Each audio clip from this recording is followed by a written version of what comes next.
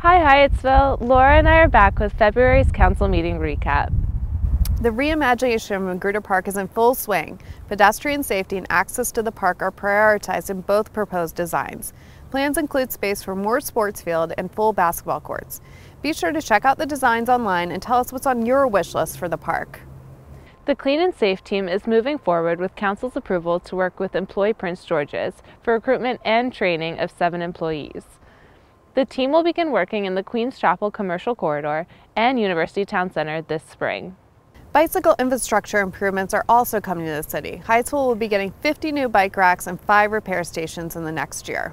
The Health, Wellness, and Recreation Advisory Committee also has a lot in store for this coming year. The committee will continue to bring you the lecture series and is working to support local artists. The police department received a grant for their cutting edge green practices. The department's fleet will add a fully electric motorcycle this spring. Council will continue to discuss new projects in the city next month. Be sure to stay tuned for more on the Landy annexation, Armory Apartments, and Magruder Point. Thanks for watching. We'll see you at the next council meeting.